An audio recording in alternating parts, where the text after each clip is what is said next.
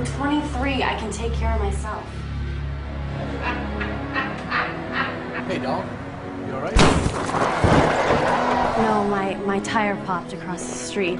Yeah, it figures. Um, the guy in the green shirt down there is a pretty good mechanic. Here. I don't have much, sorry, but please take this. I don't need that. No, come on, take it. I don't want that. I've got money. I'm not poor.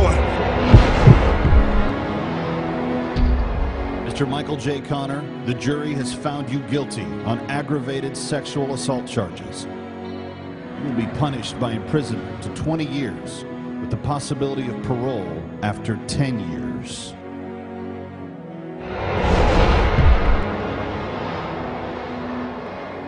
The doctor just called. You are pregnant. Well, you don't mean to tell me you're gonna have it. It's not an it, Dad. It's a baby.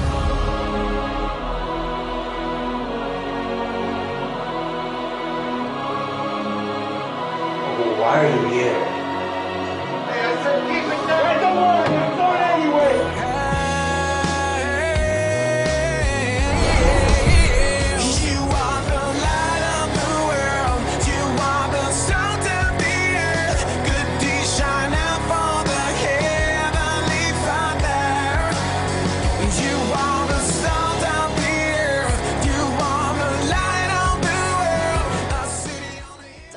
a lot. I cried.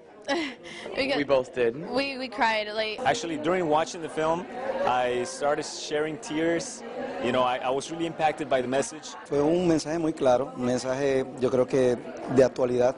Eh, y mira, sobre todas las cosas, lo más que me llamó la atención fue que habla del perdón del Señor, que no importa lo que tú puedas haber hecho, no hay nada más alto que el perdón de Él. Realmente eso me llamó mucho la atención y la manera en que la película lo proyecta, yo creo que es fascinante. Y el mensaje que lleva a los jóvenes es excelente, yo creo que fue muy buena, me encantó de veras.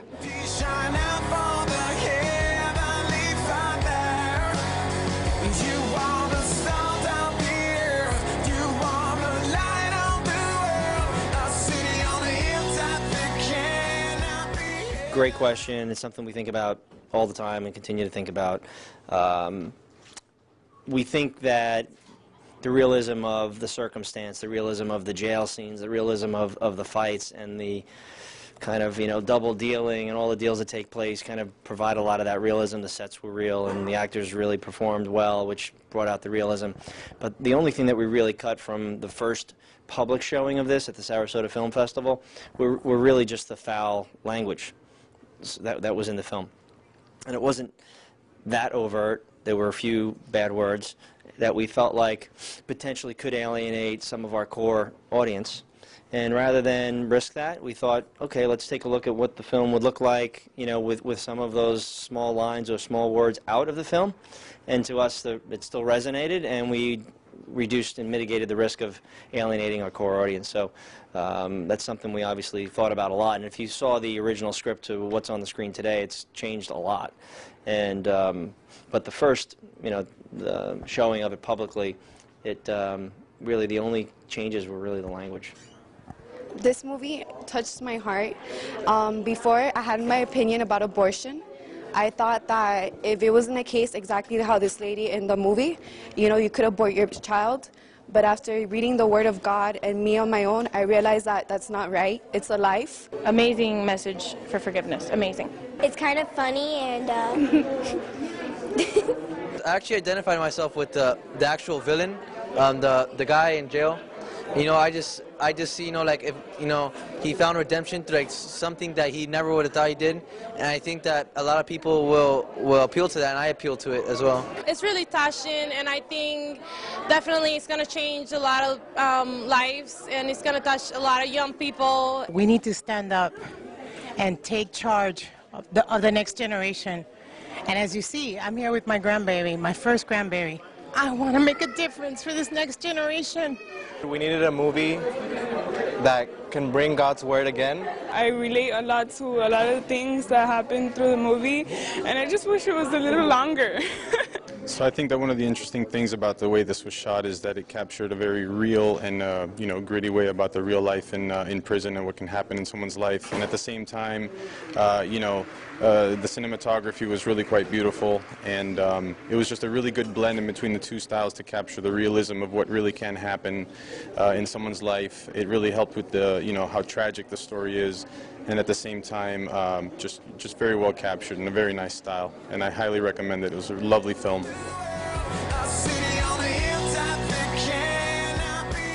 I, I've become involved in this film because I learned early on in my walk of faith do not try to question God. Um, but if I could have one question for him, it would be how do you tell somebody who's been raped you should have this baby? You know? and I was in a meeting with a very famous evangelist uh, named, named James Robison. He has a huge television, uh, and he's the product of a rape.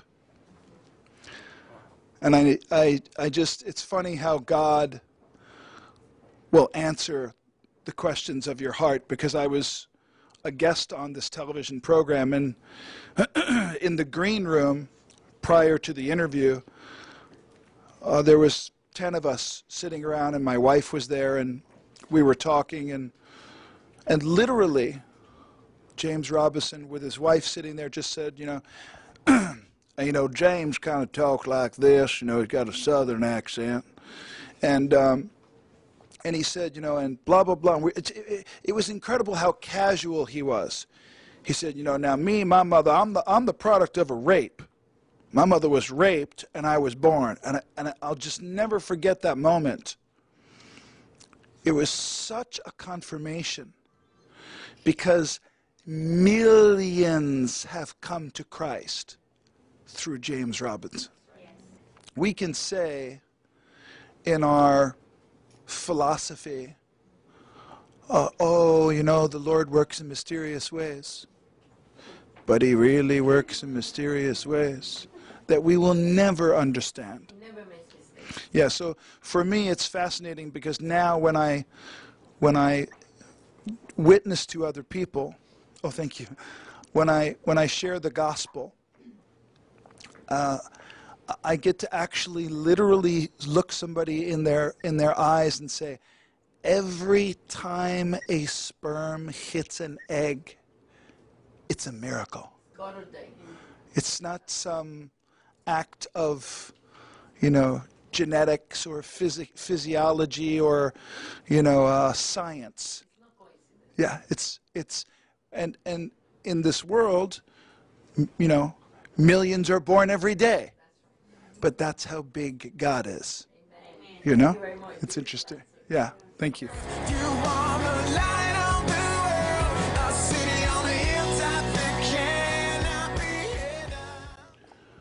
Okay, here's my answer. Uh,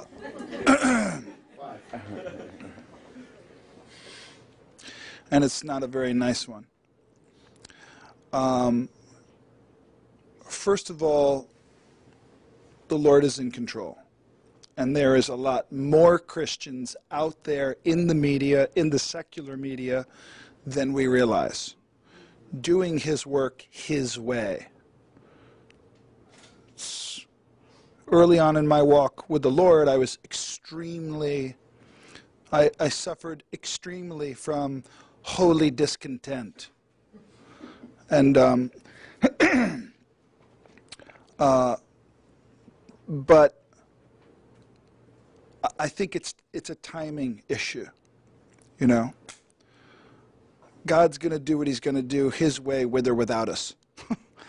um, so I'm just glad to be on the right team. You know what I'm saying? um, but at the same time, within uh, a lot of the exposure that I've had to the Christian media, uh, I mean, I've been in certain situations where the Christians involved in projects that I had been working on or conferences or conventions or award shows that I had been at were so much more like Hollywood than the 20 years I've been in Hollywood. so I, I, think the key is discernment and hearing from the Lord. That's the key, you know. It, you know, and I want to be careful because I don't want to say anything that could be offensive, you know. But everything is is defined in God's word. Period. And I think that there's a lot of people that are Christians that, that have convinced themselves they're doing certain movies for God, and they're not. um, and, and that's okay, because He's in control and, and so on and so forth. But um, I, I think it's, it's, it's a very interesting time. Uh, the film industry on both sides of the equation needs a lot of prayer. Um, but uh, I think my answer specifically to your question is it's, it's a mix of both. It's really, truly a mix of both. Um, but I think what's going to be cool uh, in the next, you know, seven to ten years is you will see radical conversions to faith by people that you would never have expected. I mean, big time celebrities and big time directors and big time, you know, major movers and shakers in Hollywood are just going to fall right on their faces for the Lord. That time is coming, I believe. La película fue estupenda. Yo no sé si yo hubiese tomado una decisión como esa tan fuerte, pero fue increíble, absolutamente increíble, muy buena, de buena calidad. Definitivo, la parte que ella decidió visitar en la prisión, me parece que esa fue la parte más impresionante donde nos muestra a nosotros que debemos perdonar. I liked it. It actually really showed what Christians should be about. Instead of trying to help for themselves and taking it all for themselves, we should go ahead and just like spread the word throughout the entire world and help people in their walk in Christ. I was just captivated by how true they, you know, it was so true the way they were able to relate the message of forgiveness and loving the bad man and just walking through that.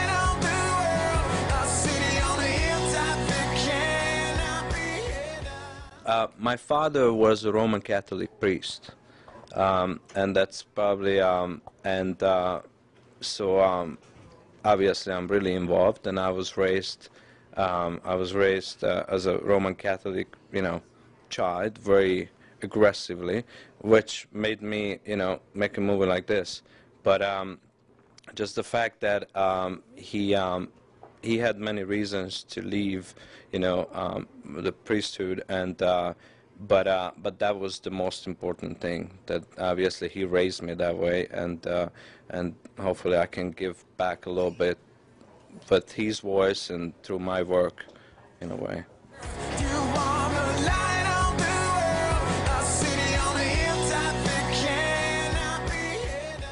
Right. I, I think it's important. I think the as actors we're storytellers, and I think the first duty of the storyteller is to tell the story. And um, from a character perspective, I'm just playing the truth of the moment, you know, just try to carry my moments, my trajectory, my story, and just play that with as much conviction as possible. I created through analysis a an arc for the character, and I just try to get there as best as I could, um, just being honest to him and what I felt his journey was to, to redemption. Yeah, I felt it was a, you know, to me it's, it's, a, it's a beautiful story, you know, and that it's Christian is, that it has an altruistic cause I think is a positive thing. But, and I think it's a lesson for us to learn also. It, we, you know, it doesn't have to be a Christian film. It's a, could be a good film with a Christian cause, you know, so um, I think that's positive, and um, yeah, there was no limitation for me. Anyone I know, I would I would tell them to watch this movie. It was amazing, and coming from a family that's not very religious, I love this movie. It was an amazing movie. It was extremely well done, and I enjoyed every part of it. Creo que es un tema de actualidad y yo creo que mucha gente puede verla. No importa que no sea cristiano. Al contrario, pienso que le va a llevar un mensaje bien positivo de lo que realmente es serlo. I wish my sister came and everybody came to come see it, but it was very packed, so we had to watch it standing, but it was good. It was a really good movie. Todos deberían de ver para la familia también. eh, es, una, es algo que deberíamos de vivir más a menudo y necesitamos más el perdón y el amor. Hemos llegado al final de este programa. Los esperamos cada semana con más música, entrevistas y mucho más. Soy Mariela Álvarez and keep watching Vida Extrema.